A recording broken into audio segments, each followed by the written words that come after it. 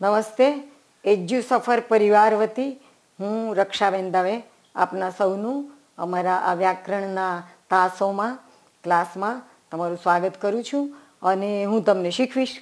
તમે લોકો શીખશો, તમને ગમશે જ અને તો તમે એને લાઈક કરજો, એને શેર કરજો અને નીચે કોમેન્ટ બોક્સમાં તમારો પ્રતિભાવ પણ આપજો. અને જો હજી સુધી સબસ્ક્રાઈબ ના કર્યું હોય તો સબસ્ક્રાઈબ કરજો. આ છે ને હું માઇમ એક્શન કરું થોડાક. આ ગંગાજીનું પાણી ભરેલી બાટલી છે. આ મારા હાથમાં રેડું છું અને હવે મૂકું છું. પ્રતિજ્ઞા લેતી વખતે આવું કરાય. તો નાનપણથી ભણાવું છું ને, તો આ પ્રતિજ્ઞા લઈને ભણાવું છું કે હું નહીં એરડિયું પીવું કે નહીં તમને પાઉં? એટલે આપણે રમતા રમતા હસતા હસતા ભણવાના છીએ. છંદ શિક્ષણ કરવાના છીએ. લોકોને એમ થાય છે કે છંદ બહુ અઘરા છે, પણ એવું નથી. હું એ તમારી માન્યતા છે ને એ તોડી નાખું. છંદ એટલે ભાષાનું નર્તન. આપણે આમ ચાલતા હોઈએ, એને બદલે નર્તન કરીએ, તો જે ફેર પડી જાય ને, એ જ ફેર છંદમાં પડી જાય. તો છંદ એટલે ભાષાનું નર્તન. અને એ પણ પાછું શાસ્ત્રીય નૃત્ય. ગમે એમ પગ નથી ઉલાડવાના આ તો શાસ્ત્રીય નૃત્ય છે. દિવસનું કામ પૂરું થઈ ગયું છે. અને હવે સાંજની શરૂઆત થઈ ગઈ છે. આ મેં એક વાત તમને કહી.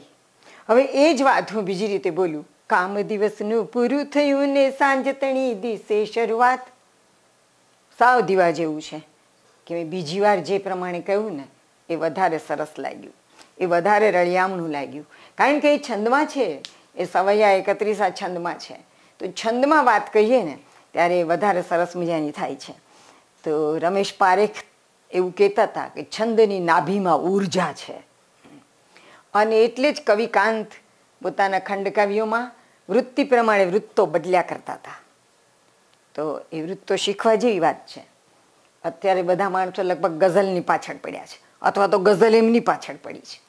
પણ આ જે છંદો છે ને, છાંદસ સાહિત્યની જે હું વાત કરી રહી છું ને, અક્ષરમેળ છંદો, માત્રામેળ છંદો, સંખ્યામેળ છંદો અને લયમેળ છંદો એટલે કે ગીત તો આ બધું શીખવા જેવું છે અને બહુ રસિક વસ્તુ છે. તો અક્ષરમેળ છંદનું એક સૂત્ર છે. જેમ સંગીતનું સૂત્ર છે ને, સારે ગમ પધની સા એમ અક્ષરમેળ છંદનું પણ એક સૂત્ર છે. અને એ સૂત્ર છે, યમા, તારા, જભા નસલગા જેમાં અર્થ નથી હોતું ને, એ યાદ નથી રહેતું. ગોખી જવાનો તો અર્થ નથી. કંઈક મજામાં ના હોય તબિયત તો ગોખેલું બધું ભૂલી જવાય. એટલે આમાં અર્થ પરોવીએ. ઘણા વર્ષો પહેલાં હું નાની હતી ને ત્યારે કોઈક એક સાહેબ છંદ શીખવતા હતા ને ત્યારે એમણે આવો અર્થ કયો હતો. એવો અર્થ ડિક્શનરીમાં નહીં મળે. એવો અર્થ કયો હતો એને યમા એટલે મારો. તારા એટલે તારો. જભા એટલે જભ્ભો. ન સળગા એટલે નહીં સળગ્યો. એટલે કે એક ઓરડામાં બેઠા હતા અને અચાનક આગ લાગી. બધું સળગી ગયું. પણ મારો અને તારો જભ્ભો ન સળગ્યો. યમા, તારા જબા ન સળગા કેવું જલ્દીથી યાદ રહી જાય એવું છે. ભણવાનું આવું હોવું જોઈએ. શિક્ષક, શિક્ષકે પણ આ ભણવાનું હોય ને એને રસિક આવી રીતે બનાવવું જોઈએ. તો આ અક્ષરમેળ છંદોનું સૂત્ર છે. એ સૂત્રની હારે આપણે હવે એક રમત રમીએ. આ ય છે ને, એ રાજકુમાર છે. અને એની પછીના બે અક્ષરો છે ને, માતા. એ એના દોસ્તારો છે. તો ય અને માતા. આ એક ગણ થયો. આમ જોઈએ ને તો અક્ષર એક, બે, ત્રણ, ચાર, પાંચ, છ, સાત, આઠ, નવ, દસ છે. પણ ગણ એના આઠ જ છે. તો જે રાજકુમાર છે ને, એને આપણે ગણ બનાવવાનો. તો આ ય ગણ છે. તો ય ગણમાં કયા અક્ષરો આવ્યા? યમાતા હવે વારો આવ્યો માનો. એટલે કે મ ગણ બીજા ગણનું નામ છે મ ગણ એટલે કે આ મ, મા રાજકુમાર થશે અને આ તા અને રા છે ને એના દોસ્તાર બનશે. એટલે કે મા, તા, રા. છે ને રમત? હવે તમે પણ મને કહી શકો કે માની પછી વારો આવે તનો. એટલે ત ગણ એટલે કે તા રાજકુમાર થશે અને રાજ છે એના દોસ્તારો બનશે. તારાજ હવે આ તાનો વારો પતી ગયો એટલે કોનો વારો આવ્યો? રાનો વારો આવ્યો. એટલે કે ર ગણ. એટલે કે રાજભા. હવે આ જભા એના દોસ્તારો થશે. રાનો વારો પતી ગયો. એટલે કોનો વારો આવ્યો? જનો. એટલે જ ગણ. એટલે થશે જ ભાન હવે કોનો વારો આવ્યો? આ પતી ગયું. હવે વારો આવ્યો ભનો. એટલે કે ભગણ. અને એની જોડે જોડે આવશે ભાનસ. કેવું મજાનું છે? રમત છે, રમત આ તો. હવે વારો આવશે ન નો એટલે કે ન ગણ તો એમાં કોણ થશે? ન રાજકુમાર અને સ અને લ એના દોસ્તારો. એટલે થશે નસલ. હવે કોનો વારો આવ્યો? સ નો એટલે કે સગણ. એના કોણ દોસ્તારો થશે? સલગા હવે કોનો વારો આવ્યો? લનો. પણ એની જોડે બે દોસ્તારો નહીં મળે. ગા એક જ છે. અને એટલે ગણ નહીં બને. ગણ બનવામાં એક અક્ષર ખૂટે છે. એટલે આપણે માત્ર અહીંયા લખશું લ અને અહીંયા લખશું ગા. એટલે કુલ આઠ ગણ છે આપણી પાસે. યમાતા, માતારા, તારાજ રાજભા જવાન, ભાનસ, નસલ, સલગા. એક રમત આપણી પૂરી થઈ. હવે આપણે બીજી રમત કરીએ. કે આને આપણે રસ્વ અને દીર્ઘ એમ બનાવીએ. એવી રીતે એને ઓળખીએ. તો છંદની ભાષામાં આ છે ને, આ રસ્વ છે. એ હસવય નથી અને રસ્વય નથી. કેટલાક માણસો ખોટો ઉચ્ચાર કરે છે. હસવ, ખોટો ઉચ્ચાર છે. કેટલાક બોલે છે, રસ્વ, ખોટો ઉચ્ચાર છે. રસ્વ છે, રસ્વ. હના ખોડામાં ર બેઠેલો છે, રસ્વ. અને બીજો છે, દીર્ઘ. આમ દીર્ઘ નહીં લખવાનો. તો તો આ પોતે રસ્વ થઈ ગયો. દીર્ઘ, આમ, લાંબુ લખવાનો. રસ્વ અને દીર્ઘની મજા છે. આમ અક્ષરો લખાઈ જતા હોય, તો અહીંયા લખાતો હોય ને નાનું જ રહેવું પડે નહીં તો આ અક્ષરની આડો આવે. અને છેલ્લે લખાતો હોય ને, તો જેટલો લંબાવો એટલો લંબાવો. એટલે દીર્ઘ બીજું શું? બધું સાવ સહેલું જ છે. માત્ર એને રમત કરી નાખવી જોઈએ. તો આ રસ્વ અને દીર્ઘ અક્ષરો છે. કોના કયા અક્ષરોને રસ્વ કહેવાય? કયા અક્ષરને દીર્ઘ કહેવાય? એ આપણે જોશું પછી. પણ અત્યારે તો આપણે છંદની ભાષામાં રસ્વ અને દીર્ઘને શું કહેવાય છે? એ શીખવું છે. તો છંદની ભાષામાં રસ્વને લઘુ કહેવાય છે. દીર્ઘમાં એને ગુરુ કહેવાય છે. જુઓ, ગ અને ર બે રસ્વ છે. બાઈ ધબાયાની બાયાની જોડે જોડે કહી દઉં કે આપણા જે વાર છે ને, સોમ, મંગળ, બુધ, ગુરુ, શુક્ર, શનિ, રવિ, એ બધામાં જ્યાં ઉ આવે છે ને, ઈ આવે છે બધા રસ્વ જ છે. રસ્વ ઈ અને રસ્વ ઉચ્ચ છે. ક્યાંય દીર્ઘવ છે જ નહીં. એટલે તમે નિરાતે બોલો રવિવારે આવશું બેન? એ નો ચાલે. શનિવારે આવશું? એ નો ચાલે. અમે તો બુધવારે આવશું. એ નો ચાલે. અમે તો ગુરુવારે આવશું. એ નો ચાલે. આ બધું ખોટું બોલાય છે. બુધ, ગુરુ આમ છે. આ આ જે રસ્વ છે ને, એના, આ જે ઈ અને ઉ છે ને, એના પણ નામ છે. જેમ કે આ ઈ એ રસ્વ છે. એટલે કે આ રસ્વ ઈ છે. આ છે ને, પાંખડું આમ વળી જાય, એ છે દીર્ઘ ઈ. આવી સાદી ખબર પણ આપણને નથી હોતી, એવું ઘણીવાર બનતું હોય છે. આનું નામ છે, હો. આ જે ચિહ્ન છે ને, આ ચિહ્ન એનું પણ નામ છે. એનું નામ છે અજ્જુ. આનું નામ અજ્જુ છે. આવું રસ્વનું, રસ્વ ઉ છે અને છૂટી ગયેલા સાતડા જેવો દીર્ઘ ઉ છે. એટલે આ ઉ બરાબર રસ્વ ઉ એટલે આમ.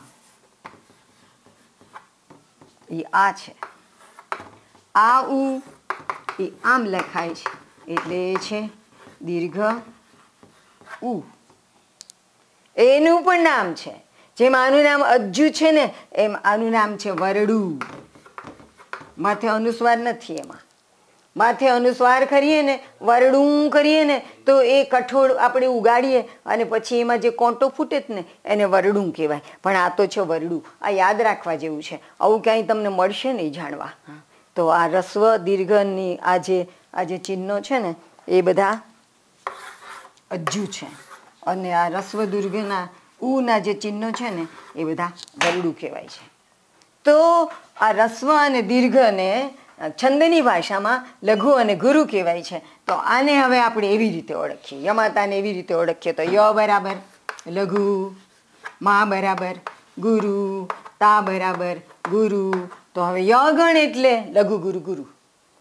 હવે આવ્યો મ ગણ તો આ મા ગુરુ છે. તો ગુરુ ગુરુ ગુરુ. આ તો આપણે જોઈએ છીએ કે રસ્વને માટે આપણે ત્યાં લઘુ અને ગુરુ, લઘુ અને દીર્ઘને માટે ગુરુ, આ આવો શબ્દ છે.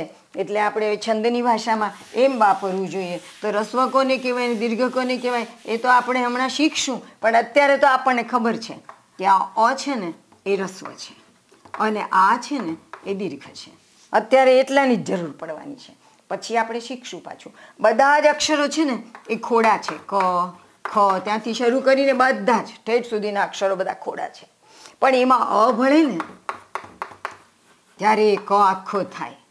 એમાં આ ભળે ને ત્યારે કા થાય. તો આ અ છે ને, એ રસ્વ છે અને આ છે ને, એ દીર્ઘ છે. તો આ જ્યારે આપણે શીખીએ જ ત્યારે આપણને એક નિયમ જાણવા મળ્યો કે અ ઈ ઉ રૂ આટલા રસ્વ સ્વરો છે. આ જે રમત રમીએ છીએ એમાં તો આપણને અ અને આ બેની જ જરૂર પડવાની છે, પણ પછી આ બધાની જરૂર પડવાની છે. આ ઈ ઉ આ પછી એ પછી અ આ એક આ દીર્ઘરૂ પણ છે, પણ આપણે એનું હમણાં કામ નથી. અઈ ઓ, ઔ, અમ, અહ, આ બધા દીર્ઘ સ્વરો છે. આ બધા સ્વરો છે. સ્વરોના ઉચ્ચારણમાં બીજા કોઈની જરૂર નથી પડતી. ત્યારે આ વ્યંજનોના ઉચ્ચારમાં આપણે એની અંદર સ્વર ભેળવવા પડે છે.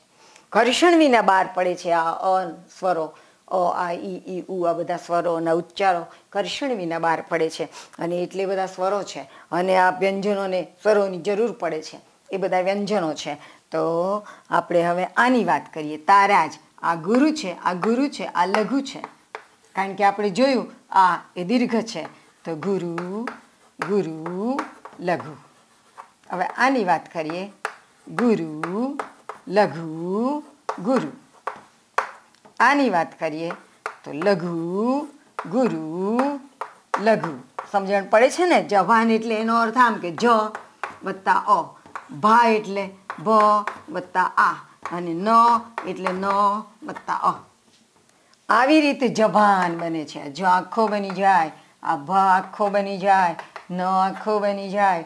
આવી રીતે જભાન બને છે. એ બે બધાને લાગુ પડશે. હવે ભાનસમાં આ ગુરુ છે. આ લઘુ છે અને આ લઘુ છે. નસલ રસ્વ છે એટલે લઘુ છે લઘુ છે લઘુ છે. આ લઘુ છે, આ લઘુ છે અને ગા એટલે આ દીર્ઘ ભળ્યો અને આપણે દીર્ઘ અને છંદની ભાષામાં તો ગુરુ કહીએ છીએ એટલે આ ગુરુ છે. પણ છંદની ભાષામાં લખવું હોય ત્યારે લઘુ ગુરુ લખવું લઘુ એમ આપણે લખતા નથી. લખવા માટે વળી પાછા ચિહ્નો છે. આ તો બોલવા માટેના છે કે યમાતા એટલે લઘુ ગુરુ ગુરુ, માતારા એટલે ગુરુ ગુરુ ગુરુ, તારાજ એટલે ગુરુ ગુરુ લઘુ, રાજભા એટલે ગુરુ લઘુ ગુરુ, જભાન એટલે લઘુ ગુરુ લઘુ ભાનસ એટલે લઘુ લઘુ લઘુ, અરે, ગુરુ લઘુ લઘુ, નસલ એટલે લઘુ લઘુ લઘુ, સલગા એટલે લઘુ લઘુ ગુરુ. પણ લખવું હોય ને, તો આમ લખાય. એને માટે ચિહ્નો છે. લઘુ માટે ચિહ્ન છે. આવું, ચીપિયા જેવું, અંગ્રેજી યુ જેવું ચિહ્ન છે. અને ગુરુ માટે આવું ચિહ્ન છે. મરાઠી લોકો છે ને ચિહ્નમાં આમ ચાંદલામાં આવો લાંબો લીટો કરે છે. તો આ એ ચિહ્ન ગુરુ માટે આવ્યું છે અને આ યુ છે ને એ લઘુ માટે આવ્યું છે. વૈષ્ણવ તિલક પણ આવું થતું હોય છે. તો હવે આપણે એને, હવે આપણે છંદમાં પ્રવેશ કરીએ છીએ બરોબર? તો એ આમ છે. લઘુ ગુરુ ગુરુ. આ ગુરુ એટલે ગુરુ ગુરુ ગુરુ. આ ગુરુ આ ગુરુ એટલે લઘુ. અને ગુરુ, લઘુ, ગુરુ એટલે ગુરુ, લઘુ, ગુરુ. આ લઘુ, ગુરુ, લઘુ એટલે લઘુ, ગુરુ લઘુ. ગુરુ, લઘુ લઘુ એટલે ગુરુ, લઘુ લઘુ. લઘુ લઘુ લઘુ એટલે લઘુ લઘુ લઘુ. લઘુ લઘુ, ગુરુ એટલે લઘુ લઘુ, ગુરુ. તો એક રમત આ થઈ, રાજકુમારની ને એના મિત્રોની. બીજી રમત આ થઈ, કે છંદની ભાષામાં એને આમ લખાય. ત્રીજી રમત આ થઈ, કે એ ચિહ્નોમાં આવી રીતે લખાય. પણ આટલું જ પૂરતું નથી. આપણે આવા શબ્દો ગોતી જોઈએ. તો આપણને ખબર પડે કે આ કેવી રીતે બની શકે. જેમ કે આ યમાતા છે, તો એવો શબ્દ આપણે ગોતીએ કે જેમાં પેલો લઘુ હોય, પછી ગુરુ હોય, પછી ગુરુ હોય. જેમ કે જવાની. થયું ને? લઘુ ગુરુ ગુરુ થયું ને? માતાજી. થયું ને ગુરુ ગુરુ ગુરુ તો એવી રીતે આ કહી શકાય? એવું છે આ બધામાં. એક પછી એક પછી એક આમ ગોતી શકાય. તો ગોતજો તમે નિરાતે. આપણે તો હજુ ઘણું બધું શીખવાનું છે. તો હવે આપણે બીજી વાત શીખીએ. પિંગલ શાસ્ત્રમાં એક બહુ સરસ મજાની વાર્તા આવે છે. તમે પિંગલ શાસ્ત્ર ભણી રહ્યા છો? તો મેં વાર્તા વાંચી હતી એવડો મોટો થોતો છે પિંગલ શાસ્ત્રનો. મેં એમાં વાર્તા વાંચી હતી. આ પણ સમજવા જેવું છે. પિન એટલે પિંડ. ગ એટલે ગુરુ. લ એટલે લઘુ. લઘુ અને ગુરુ અક્ષરના પિંડને પિંગળ કહેવાય. તો આ છંદમાં લઘુ ગુરુ ગુરુ લઘુ લઘુ ગુરુ, લઘુ, આ બધા આમાં આમ ગોળ ગોળ ગોળ ગોળ ફર્યા કરતા હોય છે.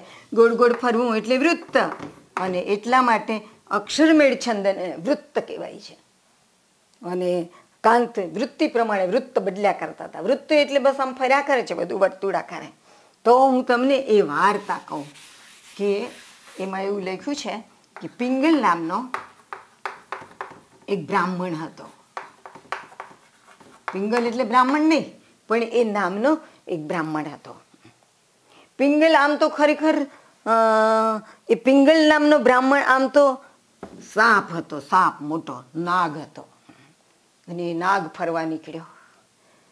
અને ગરુડ જોઈ ગયો કે આ ભલે ને પિંગળ નામનો બ્રાહ્મણ થયો, પણ આ તો નાગ છે. અને નાગ તો ગરુડનો ખોરાક કહેવાય. એટલે એણે આવીને કીધું, હું તને ખાઉં. પેલો કે, આ ખા ખરો. પણ છે ને આપણે શરત કરીએ. હું તને એક સૂત્ર આપું. એ સૂત્રને હું જુદી જુદી જુદી રીતે ફેરવી ફેરવીને પ્રયોજીશ. હવે એમાં જો એકની એક પ્રયોજના ફરી વખત થાય ને, તો તું મને ખાઈ જજે. હવે આ આ તો આ તો કેવી મજાની વાત છે. હું તમને ભાવનગર આપું શબ્દ. ભાવનગરમાંથી તો કેટલા બધા શબ્દ બને? ભાવ બને, ભાન બને, ભાગ બને ભાર બને બને ને. હવે ભાઈને પડતો મૂકો. આને વને લઈએ તો વભા બને, વન બને, વગ બને, વર બને. હવે એને પડતું મૂકો. નને લઈએ તો નભા બને, નવ બને, નગ બને, નર બને. એને પડતો મૂકો. ગને લઈએ તો ગન બને. ગ અર્થ ન નીકળે તો કાંઈ નહીં. શબ્દ બને છે. ગ બને, ગભા બને. રને લઈએ તો રગ રન, ર રભા બને હવે બબ્બે શું કામ, ત્રણ ત્રણને બનાવો ને તો ભાવન બનશે, વનગ બનશે, નગર બનશે. હવે ચારના જ બનાવો ને ઊંધેથી બનાવો, અગર અડધેથી બનાવો, વચમાંથી બનાવો. જેમ કે નને લઈએ, તો નવ ભાગર લ્યો, કેટલા બધા બને છે. આવું કલ્પનામાં નહોતું ગરુડને કે આ નાગ મને રમાડી જશે. એણે કહ્યું કે હું એક સૂત્ર આપું. અને એ સૂત્ર ઉપરથી હું ઘણા બધા છંદો બનાવીશ. એક કે બંધારણ જો ફરિયાદ બોલું ને તો તું મને ખાઈ જજે. એટલે એણે આ સૂત્ર આપ્યું. આ યમા તારા જવાન સલગા સૂત્ર આપ્યું. અને પછી એ બદલી બદલી બદલી બદલીને ગાવા માંડ્યો. એ ગાતો જાય ને ઓલો યાદ કરતો જાય, હમ, આ નવું સૂત્ર છે. એટલે જવા દો. હમ, આ નવું સૂત્ર છે. એટલે જવા દો. જેમ કે એણે ગાયું યમાતા માતા રા નસલ સલગા, ભાન સલગા. યમાન સભલગા એ શિખરીણી છે.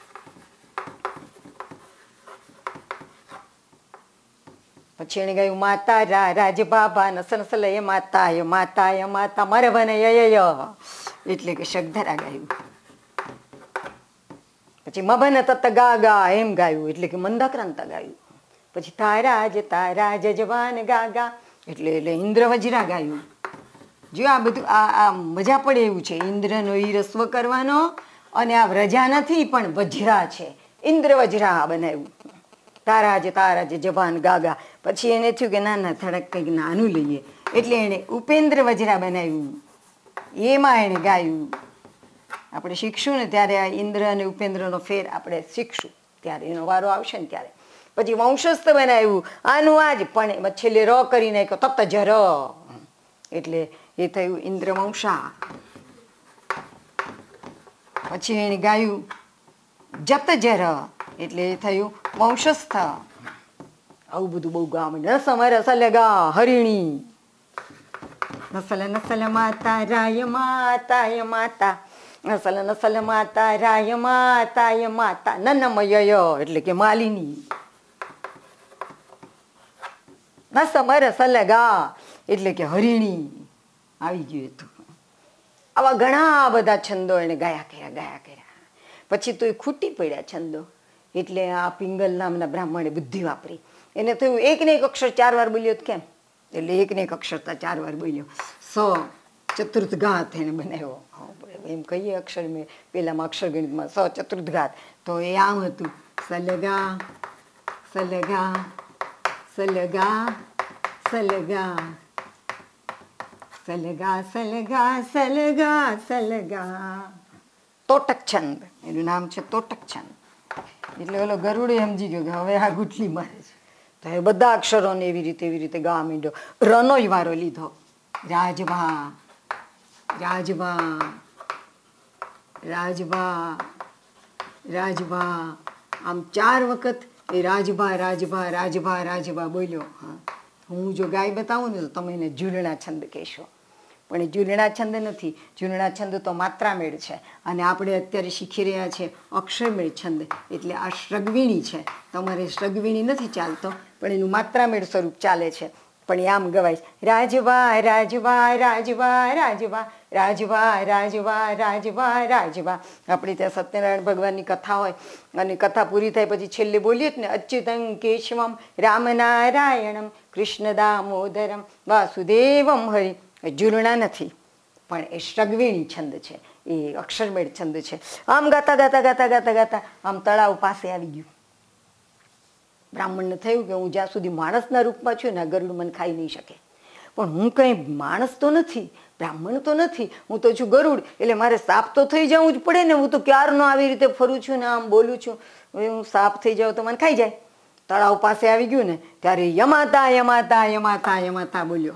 અને એમ કરતો કરતો પડ્યો તળાવની અંદર અને સાફ થઈ ગયો પણ ગરુડની ગતિ તો પાણીમાં છે નહીં એટલે એ જોઈ રહ્યો અને ખાઈ ન શક્યો અને આ બચી ગયો યમાતા યમાતા યમાતા યમાતા ગાતો ગાતો પડ્યો યમાતા યમાતા યમાતા યમાતા યમાતા યમાતા યમાતા યમાતા યમાતા યમાતા યમાતા યમાતા યમાતા યમાતા યમાતા યમાતા મહાહેતવાળી દયાળી જમાતું. દલપતરામે આ યમાતા યમાતામાં ઘણા બધા કાવ્યો લખેલા છે. તો એનું નામ છે ભુજંગ પ્રયાત ભુજંગ એટલે સાપ. ભુજંગ એટલે સાપ. અને યા એટલે જાવું. યાત એટલે ગયેલો. અને પ્રયાત એટલે એમ ચાલતો ચાલતો નહોતો ગયો. ધુપકો મારીને ગયો. ભુજંગ પ્રયાત. એનું ટૂંકું રૂપ થયું ભુજંગી. આ ભુજંગી છંદ છે. આ મજા આવે એવું છે કે ઓ છંદની ઉત્પત્તિ આવી રીતે થઈ છે. એવું હું નથી કહેતી, એવું પિંગલ શાસ્ત્રમાં લખ્યું છે. તો આટલું આપણે ભણ્યા, હવે આપણે આગળ ભણીએ. હવે આપણે એ ભણવું છે કે લઘુ અક્ષર કયા અને ગુરુ કયા, એ તો આપણે જાણી લીધું કે જેમાં અ, રસ્વ ઈ અને રસ્વ ઉ ભળે છે, એ બધા વ્યંજનો લઘુ છે. અને જેમાં એ ઐ ઓ, ઔ, ઈ દીર્ઘ ઉ દીર્ઘ વગેરે ભળે છે એ બધા દીર્ઘ છે. એટલે ગુરુ છે. એટલું આપણે જાણી લીધું. પણ કેટલાક સંજોગોમાં નિયમ બીજો, કેટલાક સંજોગોમાં એવું થાય છે કે લઘુ અક્ષર પણ ગુરુ થઈ જાય છે. એવું ક્યારે થાય છે? એ આપણે જોઈએ. આ નિયમ બીજો શીખી રહ્યા છીએ. લઘુ અક્ષર ગુરુ થઈ જાય. એ ક્યારે બને? તો એને માટે આપણે જોડાક્ષરની વાત ભણી લઈએ. જોડાક્ષર બે પ્રકારના છે. એક મંદ જોડાક્ષર અને એક તીવ્ર જોડાક્ષર. પડ્યો. ઓલો માણસ પડ્યો. મેં એને કહ્યું. તો આ યું બોલો અને આ ડ્યો બોલો જોડાક્ષર આવે છે, પણ આ પને કંઈ વાંધો નથી પડતો. આ કને કંઈ વાંધો નથી પડતો. એ છે ને એવો ને એવો જ રહે છે. એટલે કે આ લઘુ લઘુ જ રહે છે. આ ગુરુ થઈ છે, આ લઘુન લઘુ રહે છે, આ ગુરુ થઈ જાય છે. તો આવું જ્યારે થાય, ત્યારે એને મંદ જોડાક્ષર કહેવાય. મંદ જોડાક્ષર લઘુનો લઘુ જ રહે છે. અહીંયા આગળ જોડાક્ષર આ છે, પણ એનો થડકો અહીંયા લાગતો નથી. જોડાક્ષર આ છે, પણ એનો થડકો આને લાગતો નથી. એ લઘુ લઘુ જ રહે છે. અને એટલા માટે આ જોડાક્ષરને મંદ જોડાક્ષર કહેવાય છે, કારણ કે આને કાંઈ તકલીફ આપતો નથી. તો હવે તીવ્ર જોડાક્ષરની વાત કરીએ. વત્સલા, જોડાક્ષર આ તો અને સ છે. પણ એનો ધક્કો વને લાગી જાય છે. આ વ લઘુ છે. પણ એ ધક્કાને કારણે એ ગુરુ થઈ જાય વત્સલા, વત એટલે આ ત અને સ, જોડાક્ષર આ છે, પણ આ તનો ઉચ્ચાર આ વની જોડે થાય છે. બરોબર સમજજો? જોડાક્ષર તો આ છે. પણ આને આમાં ભળી જતો હોવાને કારણે વને ધક્કો લાગે છે. અને ધક્કો લાગતો હોવાને કારણે એ ગુરુ થઈ જાય છે. કારણ કે આ ત છે ને એની જોડે બોલાય છે. વાત એમ બોલાય છે. એટલે વ ગુરુ થઈ જાય છે અને એટલે આ સ લઘુ જ છે અને લા ગુરુ છે. વત્સલા આમ થયું એટલે કે રાજભા, આ રગણ થયો. તો એનો અર્થ એમ કે આ તીવ્ર જોડાક્ષર છે. તો તમે જોયું કે જોડાક્ષરના બે પ્રકારો છે. અને જ્યારે તીવ્ર જોડાક્ષર આવે, ત્યારે એનો આગલો અક્ષર લઘુ હોય છતાં પણ ગુરુ થઈ જાય. મેં કહ્યું હતું ને, કેટલાક સંજોગોમાં લઘુ અક્ષરો પણ ગુરુ થઈ જાય છે. બાકી તો અ, આ, ઈ, ઉ એ લઘુ છે અને ઈ, ઉ, એ આ બધા ગુરુ છે. એ તો બરોબર. પણ આ અ, ઈ, ઉ પણ ઘણી વખત દીર્ઘ થઈ જાય છે, લઘુ ના ગુરુ થઈ જાય છે. ક્યારે? જ્યારે તીવ્ર જોડાક્ષર આવે, એને ધક્કો લાગે ને, ત્યારે આવું થઈ જાય છે. એક ત્રીજો નિયમ છે. માત્ર આપણે જોયા એ જ જોડાક્ષર નથી, અનુસ્વારો પણ જોડાક્ષરમાં આવે છે. જેમ કે, કેટલાક મંદ અનુસ્વાર છે. કેટલાક તીવ્ર અનુસ્વાર છે. એટલે કે આ પોચા અનુસ્વાર છે. અને ઓલા પોચા નથી, એ કઠિન છે. કડક અનુસ્વાર છે. કે કયો નિયમ? આ છે કેટલાકના કેટલાક અનુસ્વારનો ધક્કો આગલા અક્ષરને લાગે છે અને કેટલાક અનુસ્વારનો ધક્કો આગલા અક્ષરને લાગતો નથી. તો આ જેમ કે હું છે, એની ઉપર અનુસ્વાર લાગ્યો છે? પણ અનુસ્વાર એમાં સમાઈ જાય છે. હમ. હું નથી થતું. હમ. તું. અહીં. આની ઉપર જોડાક્ષર લાગ્યો છે, પણ આને કાંઈ એનો થડકો લાગતો નથી. તો આવા મંદ જોડાક્ષર ઘણા બધા હોય છે, અને એને એ કોઈને ગુરુ બનાવતા નથી. અને બીજા છે, તીવ્ર અનુસ્વાર, જેમ કે કુંતલ. તો આ કુની ઉપર અનુસ્વાર છે. જોડાક્ષર ગણીએ તો આમ છે. અનુસ્વાર અને તો બે ભળ્યા છે. પણ આનો અનુસ્વારનો આને ધક્કો લાગે છે. કુંતલ એમ બોલવું પડે છે. એટલે આનો ઉચ્ચાર આની જોડે થાય છે.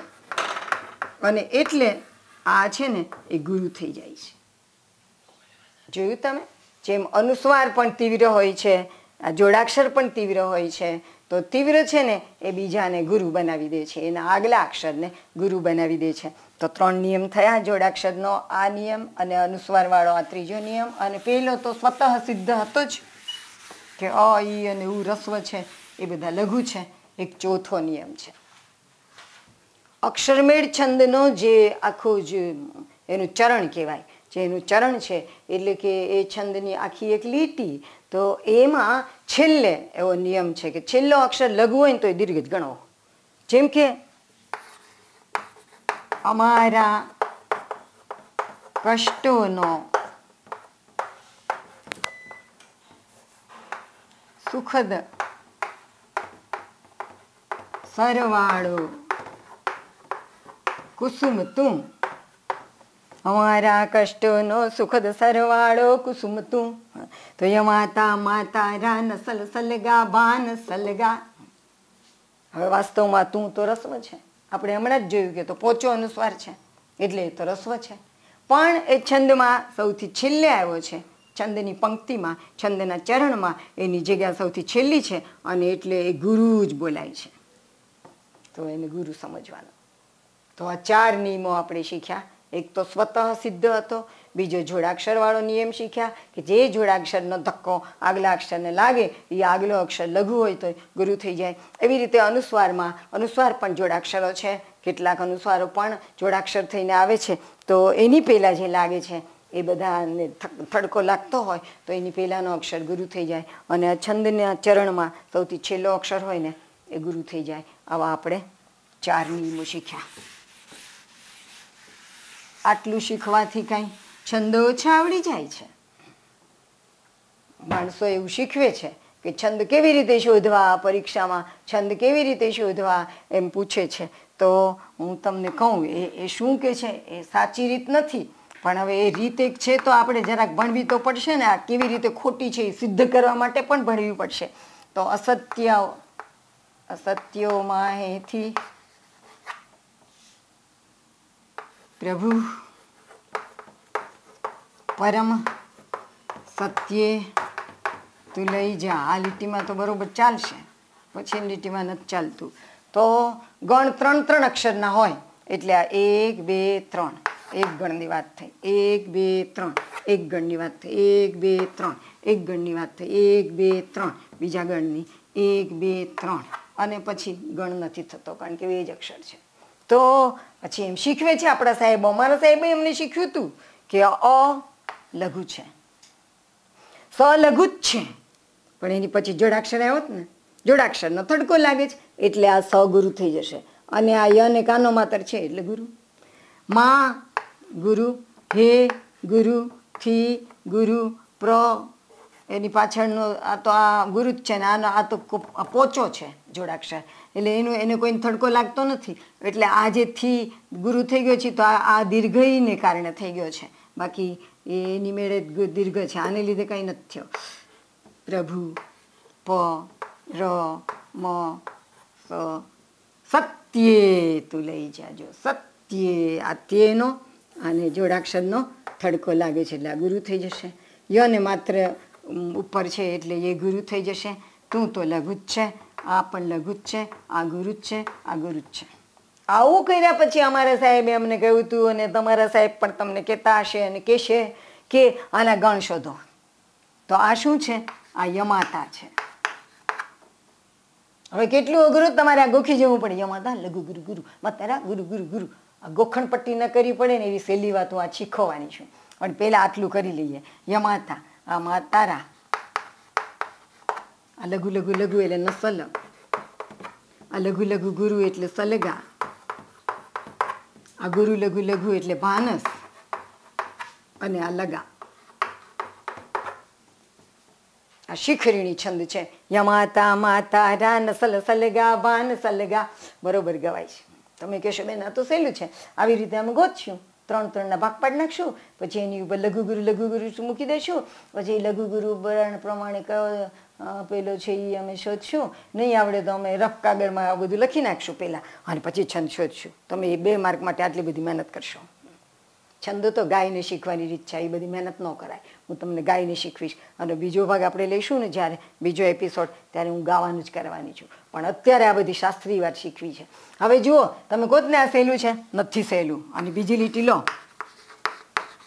ઊંડા અંધારેથી પ્રભુ પરમ તેજે તું લઈ જા હવે ત્રણ ગોતો. એક, બે, ત્રણ. એક, બે, ત્રણ. એક, બે, ત્રણ. એક, બે, ત્રણ. એક, બે, ત્રણ. અને બે. હવે ગોતીએ આપણે. ઉમ. દીર્ઘ છે ને? ઉ પોતે દીર્ઘ છે ને? પાછો આ જે જોડાક્ષર છે, અનુસ્વારનો જોડાક્ષર, એનો થડકો લાગે કે ઉડા બોલાય છે? ઊંડા બોલવું પડે છે. એટલે આ ગુરુ થઈ જાય છે. આ પણ ગુરુ થઈ જાય છે. અંધારેથી, અધારું નથી અધારું નથી, અંધારું બોલીએ છીએ એટલે આ અનુસ્વાર તીવ્ર છે અને એટલે અઘુરુ થઈ જાય છે. આ તો કાનો છે એટલે દીર્ઘ થઈ જ જાય. અને માત્ર છે એટલે દીર્ઘ થઈ જ જાય. અને દીર્ઘ લાગેલી છે એટલે દીર્ઘ થઈ જ જાય. આ તો રસવત છે, આ તો રસવત છે, આ પણ રસવત છે. રસ્વ એટલે કે લઘુ જ છે. આ પણ લઘુ જ છે. આ ગુરુ આ ગુરુ, આ લઘુ આ લઘુ, આ ગુરુ આ ગુરુ. હવે ગણ ગોતીને લખીએ. હવે જુઓ, હવે મજા આવશે.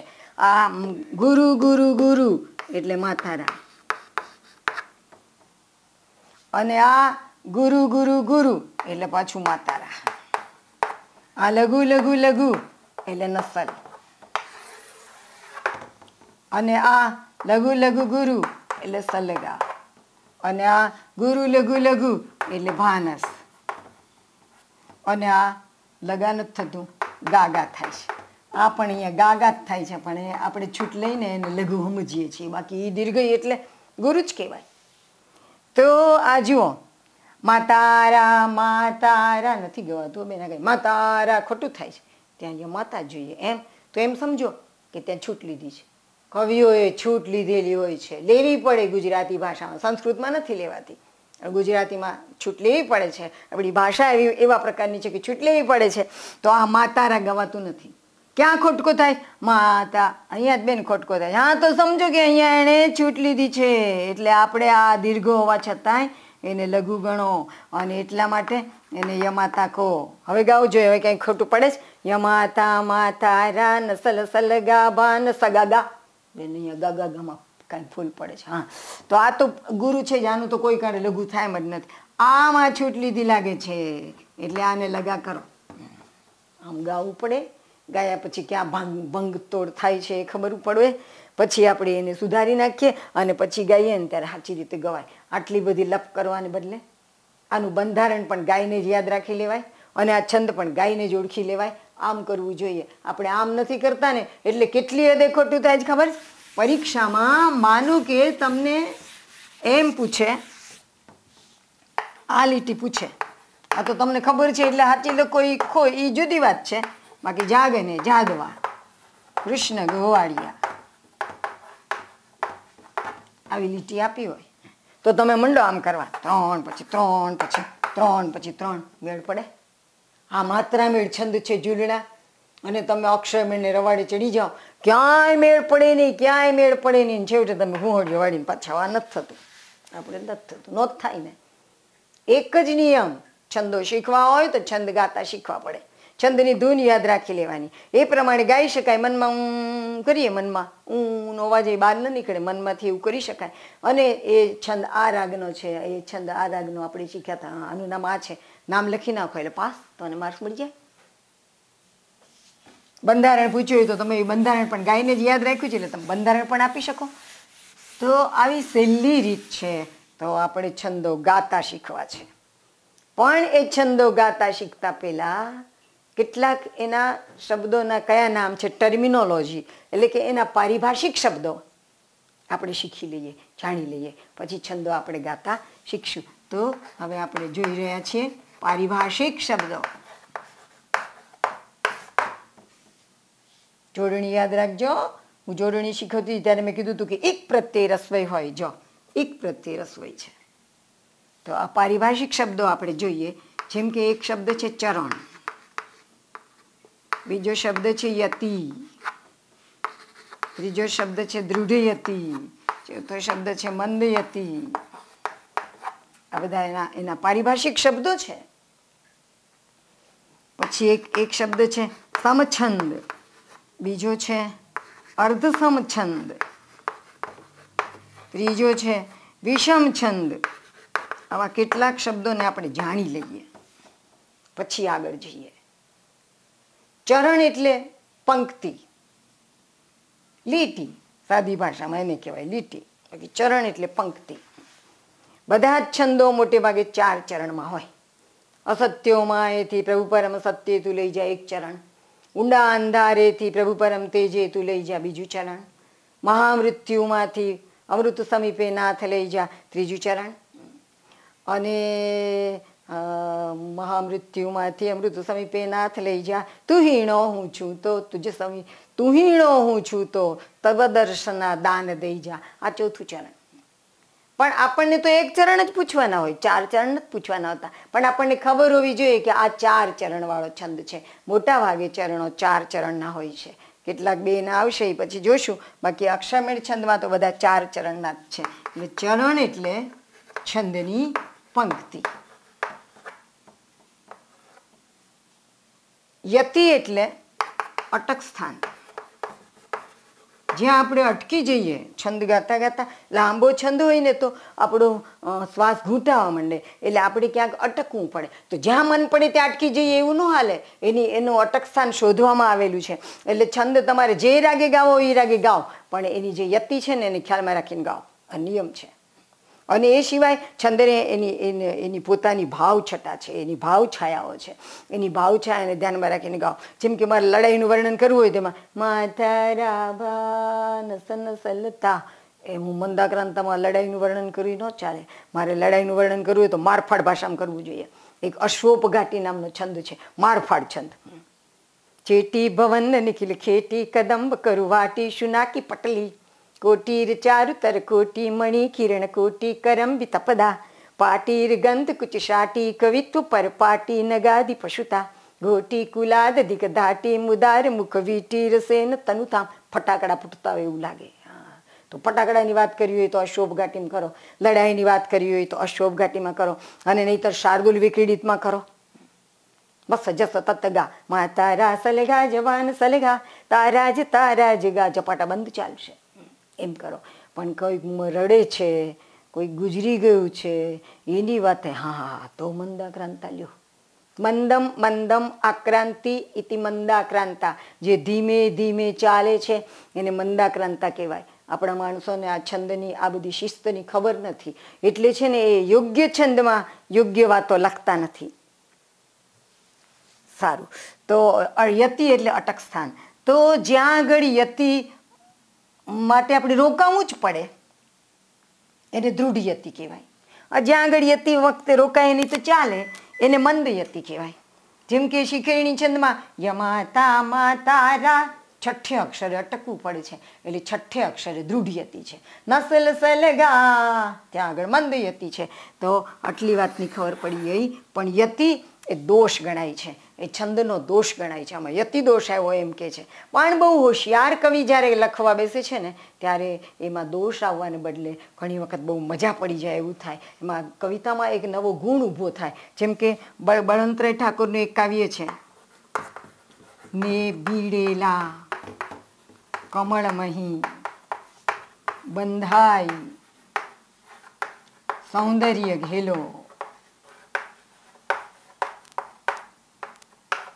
પછી તો બીજી ઘણી લીટી, પણ આપણે આ લીટીની વાત કરીએ કારણ કે અહીંયા છંદભંગ છે. આ મંદાક્રાંતા છંદ છે. તો માતા રાભા નસ નસલતા. માતા રાભા ચારે યતિ હોય છે અને દસે યતિ હોય છે. કેટલાક વ્યાકરણમાં એમ લખે છે, ચારે યતિ, દસે યતિ અને પછી અગિયાર, બાર, તેર, ચૌદ, પંદર, સોળ સત્તરે લીટી હોય છે, એને બદલે આમ ગણાવે. ચારે યતિ પછી એક, બે, ત્રણ, ચાર, પાંચ, છ એ હતી. પછી એક, બે, ત્રણ, ચાર, પાંચ, છ, સાત એ હતી. એમ ન ગણાવાય. આ કઈ યતિની જગ્યા નથી. આ તો પૂરું જ થઈ ગયું. એટલે એને યતિ ન કહેવાય. તો આમ જ કહેવું પડે કે ચારે યતિ અને પાંચ, છ, સાત, આઠ, નવ, દસે હતી અહીંયા આ છેલ્લી વાત કરાય નહીં. એ વાત ન કરવાની હોય. કારણ કે એ તો પૂરું જ થઈ ગયું છે. એ હતી નથી. વચમાં અટકવું પડે ને એને અટક સ્થાન કહેવાય. આને કઈ અટક સ્થાન ન કહેવાય. આપણે જ્યાં જવું છે ત્યાં આપણે પહોંચી ગયા એને કઈ અટક સ્થાન કહેવાય? વચમાં આવતા સ્ટેશનને અટક સ્થાન કહેવાય. તો એવી રીતે શબ્દરા છંદમાં એવું થાય. સાથે સાથે સાથે યતિ. એમ એ સાતે યતિ ન કહેવાય. અને બીજી યતિ પણ સાતે ન કહેવાય. ચૌદે કહેવાય. એકવીસ અક્ષરે તો છંદ પૂરો જ થઈ જાય છે. એટલે આપણને ઘણું બધું ખોટું પણ ભણાવવામાં આવે છે. તો હવે જુઓ. દેવીડેલા કમળમહી બન જો શબ્દ તૂટી ગયો ને, જ્યાં આગળ યતિ પાડવા જઈએ અને શબ્દ તૂટી જાય, તો એને યતિભંગ કહેવાય. અને યતિભંગ એ છંદ દોષ છે. પણ અહીંયા આગળ છંદ દોષ થવાને બદલે ગુણ થાય છે, ગુણ. કેમ ગુણ થાય છે? અરે બહુ મજા પડી જાય. બંધાય. એટલે આપણને એલું કમળ બંધાઈ ગયું હોય, એવું તરત ખ્યાલ આવે છે. એટલે કમળ ભમરાની થાય કે એમ મરી ગયો, આ તો બંધાઈ ગયું ભાગવાને બદલે. એટલે આપણને પણ થોડી ભીતિ લાગી જાય તો કમળનું ફૂલ બંધ થઈ ગયું, એ આપણને સમજાય છે. એનું એક કલ્પન આપણને લાદે છે કે એ બંધ થઈ ગયું, કમળનું ફૂલ બંધ થઈ ગયું. તો બંધાઈ, એને કારણે એક કલ્પન લીલા ઊભી થાય છે. અને એટલા માટે ત્યાં ગુણ છે ત્યાં દોષ નથી. હું એક બીજો દાખલો આપું. બહુ સરસ મજાનો દાખલો છે. મારી કવિતામાંથી હું તમને એ દાખલો આપું. મારી કવિતા મને યાદ ન રહે એવું બહુ થતું હોય છે. બીજાનું મને બધું બહુ યાદ રહે. પણ મારું જ મને યાદ ન રહે. તો રી રી શાંતિ, સ્ખલિત થઈ. રે રે શાંતિ, સ્ખલિત થઈ કે? હા, પ્રભુ. માફ કીજે. ભગવાનના સમા સમાના કીર્તનો હોય છે હવેલી સંગીતમાં વૈષ્ણવ સમાજમાં. તો રે રે શાંતિ, એક, બે, ત્રણ, ચાર. સ્ખલિત થઈ કે બીજું? અને આ પ્રભુ, માફ કીજે. હવે જુઓ, રે રે શાંતિ સ્ખલિત થઈ કે? હા, પ્રભુ, માફ કીજે. પોઢો પોઢો, પ્રભુ પરમ. તો પેલી લીટી આમ આવે છે. પોઢો પોઢો, પ્રભુ પરમ. શાંતિ તણી નિંદ કીજે. તો અહીંયા જુઓ, પોઢો પોઢો, પ્રભુ પરમ શાન તૂટી ગયો ને શબ્દ? શબ્દ તૂટી ગયો એટલા માટે છંદોભંગ છે. પણ આપણે છંદોભંગ એટલા માટે રાખ્યો છે કે અહીંયા આપણે કેવું છે? રે રે, શાંતિ, સ્ખલિત થઈ. તમારી શાંતિ તૂટી ગઈ ને? તૂટી જ જાય કારણ કે અમારી અંદર કામ, ક્રોધ, લોભ, મદ, મોહ બહુ છે, એને તમારી શાંતિ તોડી નાખી. આવું કીધું છે કેવું છે? એટલા માટે એ આ જે અટક સ્થાન પાસે છંદભંગ થતો લાગે છે ને, એ છંદભંગ નથી, પણ એ વધારે સરસ મજાની વાત થઈ છે. તો જવા દો સમછંદ. જેના ચારેય ચરણો એક હોય, એક સરખા હોય, એને સમછંદ કહેવાય. તો આ શિખરીણી છે, મંદાક્રાંતા છે શકદરા છે, એ બધામાં ચારેય છંદો સરખા હોય છે, એટલે સમછંદ. કેટલામાં અર્ધછંદ અર્ધ સમછંદ હોય, એટલે કે પહેલા બરાબર ત્રીજો હોય, બીજા બરાબર ચોથો હોય, આવું જ્યાં બનતું હોય ને, જેમ કે અનુષ્ટુપ છંદમાં એવું બને છે, દોહરામાં એવું બને છે, સોરઠામાં એવું બને છે, એ બધા અર્ધ સમછંદ કહેવાય. પણ કેટલાક છંદો એવા છે કે જેમાં ચારેય ચરણોની જુદું જુદું જુદું જુદું બંધારણ હોય છે. જેમ કે મિશ્રોપજાતિ છંદ, તો એમાં એક પંક્તિ ઇન્દ્ર વજરાની હોય, બીજી પંક્તિ ઉપેન્દ્ર વજરાની હોય, ત્રીજી વંશસ્થની હોય, ચોથી ઇન્દ્ર વંશાની હોય, આવું હોય છે એટલે એ વિષમ છંદ કહેવાય છે. તો આ મેં તમને પારિભાષિક શબ્દોની વાત કરી અને હવેની વાત આપણે બીજા એપિસોડમાં શીખશું. અને સબસ્ક્રાઈબ પણ કરજો, જેથી કરીને બીજાને લાભ મળે. મને આમાં કોઈ મેળ, લાભ નથી.